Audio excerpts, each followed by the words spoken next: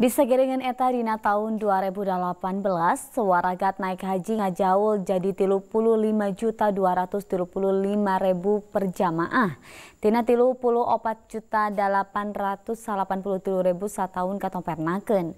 Calon jamaah haji di Kabupaten Bandung Barat anu ngadaftar haji kudu ngadago tepi ka opat belas tahun kermiang ke Arab Saudi.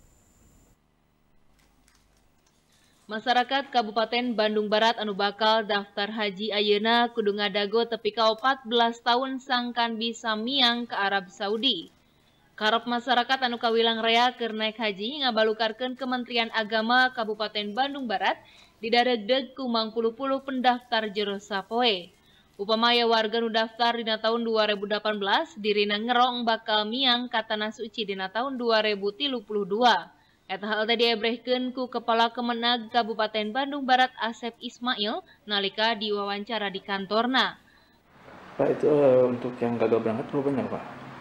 Kebetulan uh, yang gagal berangkat itu ada dua orang, satu karena meninggal dunia, yang kedua karena sakit mengundurkan diri untuk mudah-mudahan sehat nanti tahun depan bisa diberangkatkan. Untuk proses visa sendiri tidak ada terkendala? Bisa, alhamdulillah kemarin informasi dari kantor wilayah sudah selesai.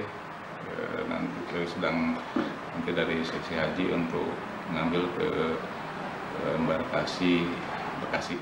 Karep masyarakat anu bakal miang haji ka Cidareana. Saban tahuna, warga nu daftar lebih rea batan kuota haji di Kabupaten Bandung Barat nyaeta 1120 orang saban tahuna.